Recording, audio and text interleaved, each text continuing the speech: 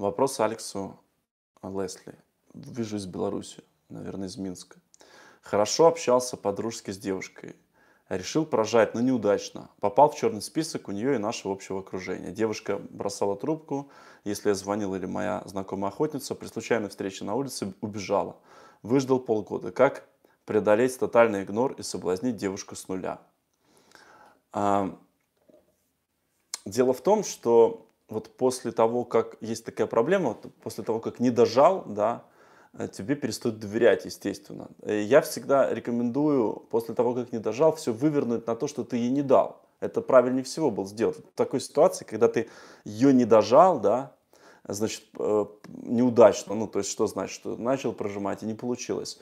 Все это разрулить таким образом, что ты говоришь ей, что что-то мне вообще, знаешь, ей расхотелось как бы этим заниматься с тобой. Давай только друзьями останемся. По-моему, мы слишком много себе позволили сейчас. То есть, во-первых, скидывание ответственности на нас, да. Во-вторых, это оттолкнуть ее. Как, после того, как ты ее оттолкнул, гораздо проще будет начать. Да. Соответственно, что сейчас делать через полгода? Показать ей, что у тебя уже есть другая, и она будет к ней ревновать. Кроме этого, я вот одному моему знакомому рекомендовал такую штуку делать. А, эта другая звонила ей и говорила, убери руки от моего парня, я вижу, что ты с ним переписываешься, что ты ему пишешь и так далее.